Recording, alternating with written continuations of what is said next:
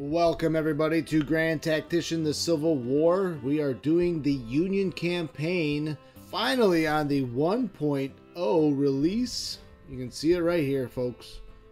The game has officially released. We are going to play it on the very hard mode, the hardest mode possible.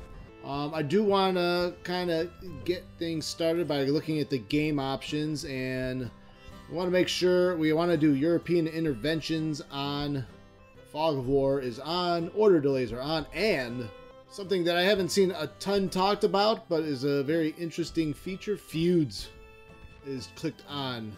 Now, something we are going to try to do a little special with our campaign is we have um, opened up the policy decision making to the general public and we did a poll on uh, my Patreon page, and we have decided if you want to go visit that Patreon page and look at the results of the poll, you may do so. The link will be in the description. But we have decided on click on Breadbasket was one of them, Go West, and Union and Pacific. So those are our three policies. Go West, encourage people to move to the west coast of the United States, northern support in California and Oregon plus 25, population plus 20%, and recruitment made possible in said states. The trade capacity of the Santa Fe and Oregon trails doubled. So you get a lot of different benefits from that. Trade benefits, population benefits, which means more manpower, support benefits, you also have Breadbasket, a policy for America to feed the world. All farms will start the campaign with a higher upgrade level. Relations with Europe plus 10. This policy is required for level 3 and 4 agriculture policies. So we need to feed our vast armies, and Breadbasket is going to help achieve that. Union and Pacific Railroad support the construction of the Union Pacific Railroad connecting the Atlantic and Pacific coasts, will increase trade with western states. The game will start with the Union Pacific Railroad built and Union controlling trade to the Pacific coast. Union credit rating plus 2, railroad transfer capacity and construction speed plus 25% we do want to set our AI bonus to max level. We're going to do plus 50. Difficulty is going to be very hard. So the difference is mainly from what I have gathered from the manual and discussions on the Grand Tactician website is that the bonus is a cheat bonus. So it is basically an AI cheat bonus um, affecting mostly national morale and I believe morale of the armies themselves. Difficulty on very hard gives the a more aggressive AI behavior. Now, I'm wondering too, sometimes with a more aggressive AI though, especially if you're the Confederacy, I wonder if it just ends up being more detrimental to them, as if they they may make some rash and audacious decisions, but that was true, especially in the Eastern Theater Robert E. Lee making some very audacious decisions to invade the North as he did on not once but tw- two occasions, splitting a smaller force in the face of a larger force. So, could create some interesting gameplay to say the least. So, we are doing Spring of 1861, plus 50 bonus, difficulty very hard. We've got our policies in set. Well, why don't we start this campaign? So for current subscribers, you're probably pretty familiar already with the user interface of the game, but for newer folks that might be getting more interested in the game as it has been officially released, if you start at the spring of 1861 start, the nation is not yet in war. James Buchanan is the pres president of the United States, um, and Lincoln has not yet been inaugurated. He has been voted in, and the southern states begin to secede. Now, certain policies can affect who actually secedes and who doesn't, especially in the border states, especially concerning Kentucky, Missouri and Kansas, there's some policies that will help determine what those states will do. Again, the policies affecting Kentucky, the Confederates can choose a policy that will give support benefits to Kentucky and especially Kansas too. But the Union also has counter policies that may you can go all in for trying to persuade other states to join the Southern cause, but if the Union also picks Kansas a Union state, that will often lead Kansas to stay Union. So there is a historical bias in that sense. Um, you have the date up top, you have the manpower up top, fielded, fielded manpower, and the tooltips do give you an awful lot of information in the game. So those are they are very useful. And you have your current treasury, treasury and surplus, your current debt rating, railroad and sea capacity, and you have your menu bar. You have your strategy tab, current commander of all forces, commanding general. So the Winfield Scott, even though he's not holding a field command, he is basically your He's basically your chief of army. Also, in the finances tab is where you can set some financial policies in place. So there's a quick overview here of national debt, interest rates, credit rating. So this is important to keep an eye on. The higher the debt and the lower the budget surplus, the worse the rating will be. Better ratings lead to lower interest rates. If ratings are too low, the issuing of debt is not possible anymore. Believe in earlier versions it said anything below a triple B. I wonder if that has changed slightly to a more dynamic setting. You do have sliders, and there are subsidies sliders here. You have a politics slider, diplomacy slider, industry. So you can basically, with all these sliders, you can increase subsidies and spending to impact how fast and how much industry your cities build. Same thing with agriculture. Transportation will go into the tra- transportation pool.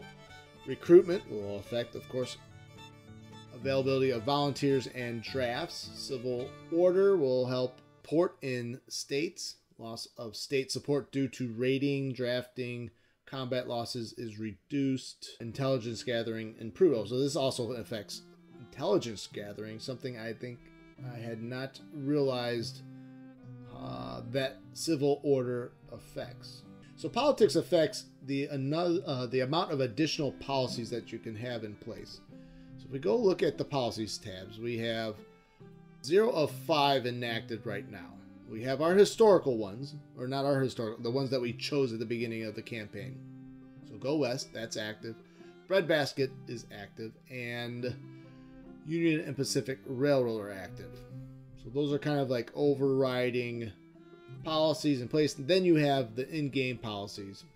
Funding, agriculture, industry, military, and diplomacy. And right now we have we can have up to five policies enacted. With the subsidies, we can add additional policies. So it will cost us 200,000. So you can see that it went up to to six. Now, the discussion that most people are having is that it's really not beneficial until you are have hit five policies. So you're it feels like you're wasting money by adding additional policies when you're not even researched your max number of policies. If I am wrong about this and there is some benefit that I am not seeing to adding additional policies ahead of time, please let uh, feel free to leave a comment. So I believe the the union has the advantage of well, they have a lot of advantages. They have the advantage of um, already having a stronger industry,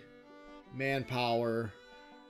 Uh, maybe not necessarily breadbasket, but I would I would wager that the historical situation that the union was able to outproduce food because the South was more into cash crops than food crops, where their whole economy was based on production of cash crops instead of actual foodstuffs. So The Union should have already natural advantages to industry agriculture funding. We are going to start though and ramp up our own industrialization. So we're going to re- research and start off with industrialization one. We are only going to research the one policy at the moment because it should research faster that way. We're actually going to test that out. Let's let's play the campaign. American America divided. President Buchanan unable to solve the crisis. Jefferson Davis to lead the Confederacy. Texas votes 3 to 1 to secede. General Twiggs surrenders U.S. armaments. Let's go back to policies. So before when we had two policies going or one policy going, it was at 33 days. It's now 72.8 days to research both policies. If you have two policies going at the same time, going to delay the amount of uh, time, or it's going to increase the amount of time it's going to take to research the policy. We're just going to keep it on industrialization one. It's even more than it's even more than twice the amount. And that's probably due to minus 26% research speed due to lower state support, minus 53 research speed as multiple policies are researched. So yeah, it, it actually it's more than twice the time added if you try to research two policies at the same time. So far, best the best policy is to only research one policy at a time. I suppose if you're trying to rush something through, maybe. Also, if you were getting a research bonus in speed due to national support, that might be the way to go with faster research, but that is usually not the case. Before we start recruiting armies, we will take a look at our navy first. So you have the home squadron, you have the squadron that you have selected right here, the fleet selected you also have ships in harbor that are not assigned to any fleet. Um, there is a differentiation between sea and river fleets. Um, a lot of ships also have the movement type for both. Now, playing as the Union side, you're going to have a lot of ships that are able to travel the blue water deep sea regions. So the home squadron, squadron that is our basis for the Atlantic fleet. There are no other fleets right now available, though we have a lot of ships in harbor. So we can create fleets. Although a lot of these ships, you can see on the right hand side the condition they are in. Like the John Hancock, which is a steamship can travel through sea and rivers. It's only 36% completed, 36% ready for um, ready for action. I do want to create a new fleet. And It's actually we're going to create our river fleet. So why don't we start building our fleet out of Cairo, Illinois. It's a level one port. So we can use these steamers to maybe start creating the basis for our new river fleet. Just click and drag over. So we only have four steam river steamers that are in harbor. I'm going to hold on to these other two for operations along the Atlantic seaboard because really the one weakness I guess the Union Navy might have here is the lack of river flotilla so we're going to have to build that from scratch. As all these other ships are sea-going ships. It'll be great for the um, blockade that we are going to institute. Having worked his way from midshipman to commissioned officer, he can be given a command of a ship or a squadron. Right, we're going to assign him to the river fleet.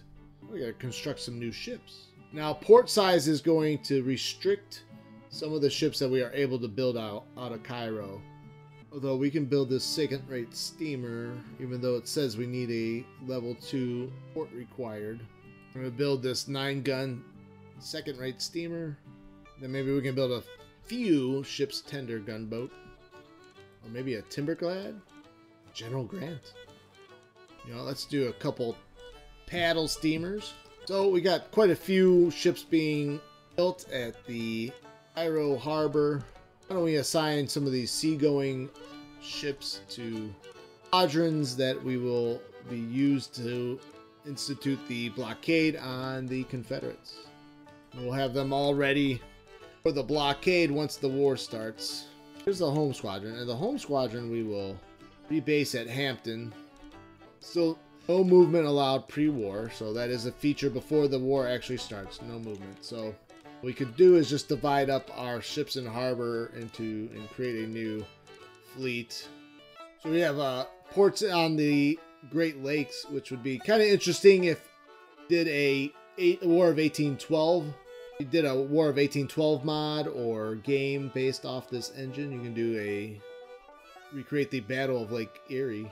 This will create a new fleet out of New London, Connecticut. The Vermont. Alright, this fleet looks to be ready. Alright, nine ships. Assign Theodorus Bailey as the commander of that fleet. Alright, so we have two fleets. I'm going to do another one. We'll name it Blockade... Blockade 1. Blockade Fleet 1. Not a, not a flashy name, but it'll help me keep track of the blockade. When we do a smaller fleet out of Key West. Steam sloop. Alright, that should be good for Smith Squadron or Let's do George Pearson, maybe.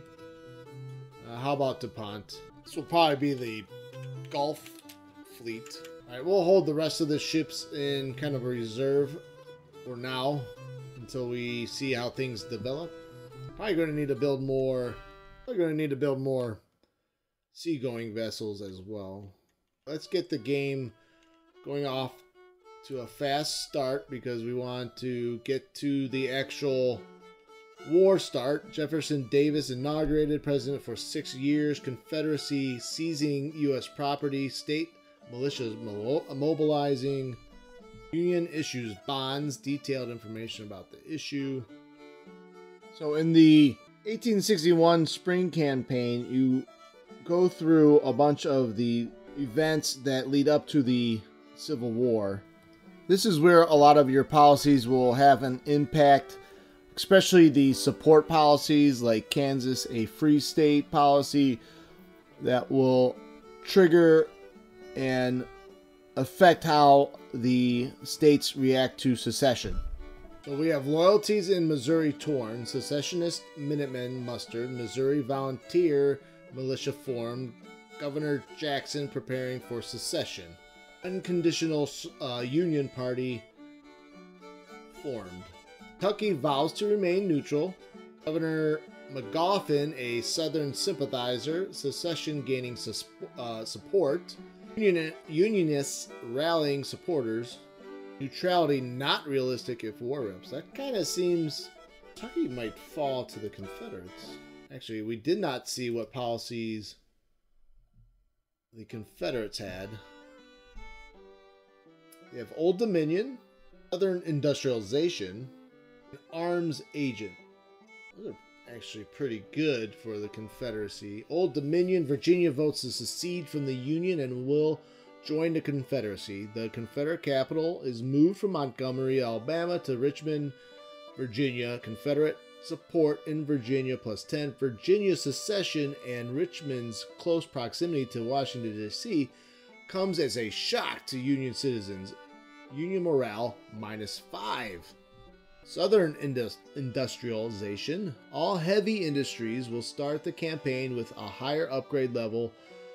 The Confederacy will start the campaign with more railroad lines built, and immigration from Europe increases population within the Confederacy by 25% but lowers unity due to religious unrest and resentment towards slavery within the immigrant population, reducing national morale by minus 5. This policy is required for level 3 or 4 industrialization policies and the abolition of slavery later in the campaign. Arms agents organize movement of weapons to southern armories and forts. The number of weapons available to the Confederacy is increased by 50%. The Springfield weapon types become available for production in South's industry. Union morale minus five. So that let's look at the start of the strategic situation. Confederate slight advantage right off the bat. So you have the deep so southern states have seceded, including Texas. Well, the front lines are drawn here, even though war has not yet officially been declared. Union support in Virginia is down to 26%, North Carolina 21, 60% in Kentucky. Missouri is 60% for Union. Kansas 60%. Most of the northern states are 80 to 85%. All right, Fort Sumter situation deteriorates. Beauregard takes command. The fort garrison is low on supplies. More siege artillery moved to Charleston. We are going to create our first army, and that is going to be the Army of the Potomac. Now, using the filters, we can find a suitable commander. Now, part of this campaign is we will, I will open up the decision on who will be the main commander in the Eastern Theater, also in the Midwest and in the West. So the three main commanders in the three major theaters of operations. There'll be side theaters as well, uh, but to keep the flow of the campaign going so we're going to choose an army commander. Um, now we will are going to decide on a, an official army commander um, from the viewers yourself. Well, I'll create a new poll for Eastern, Midwestern, and Western theater commanders. For now, we're just going to assign someone that can start maybe building some depots and telegraph stations so that we can start maybe building some of the infrastructure for war now and get ahead of ourselves before we start launching our invasion into the secession south. So, looking for commanders with a engineer branch of arms will help create fieldworks faster and this makes the unit better in siege warfare and constructing or overcoming obstacles. Richard Delafield will get a, a slight promotion there. We're going to change our unit size of infantry for now just to small. These units will be ready in about half a month or so. They are stationed near Annapolis. They won't be able to move until war is declared anyways. So Texas officially joins the Confederacy. New territories organized. The maps are updated, borders have moved, fulfilling the manifest destiny. Davis calls for militia, 12 month contracts, provisional army formed, states recruiting new regiments. So, call of arms made. Lincoln inaugurated the 16th President of the United States, new cabinet to handle crisis. Buchanan leaves office. Virginia's loyalty to Union question, rumors of increasing support for the secession Further state states threatening to leave the Union Confederate support in Virginia soars. So Confederate states have established an army organization patterned after U.S. Army. Davis authorized to call up 100,000 men. Regular army of 16,000 men planned. Speech delivered in Savannah. Stephens addresses the nation, cornerstone address, new government foundations laid, further secession predicted. Industrialization 1 policy selected, more support for union factories, John Ericsson's monitor design approved, mass production of new weapon types. So industrialization has been researched. Our research speech minus 22% due to lower state. Well, that's because we still have southern states that uh, have low support for us affecting that research. Suppose we can go to military 1 and research that in 32 days. We want to do militia act 1. Oh, we can enact that in 12.9 days. So why don't we do militia act 1 and then try to do militia act 2 to get the 12 month volunteers, 12 month militias. Military 1. Military policies allow new laws for recruitment, increases subsidies, but Militia Act 1 will allow the president has the authority to call in the militia to form a provisional army. but only if the nation is under attack. This act will allow the recruitment of volunteer units under a three month contract.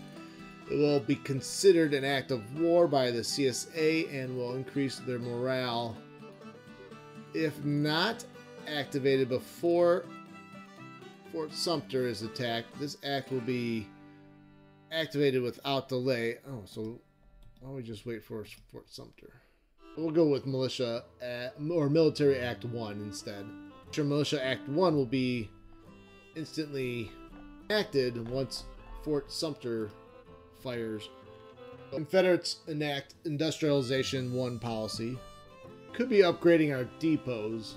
If we want to secure Western Virginia, we can upgrade that depot. Now again, I don't plan on losing Harper's Ferry and the Shenandoah Valley, but we may temporarily lose them. I don't want to upgrade the depot here yet until I know it's secured and won't because it'll leave me as soon as Virginia secedes. Can upgrade the Washington depot. There's not a lot of depots anywhere.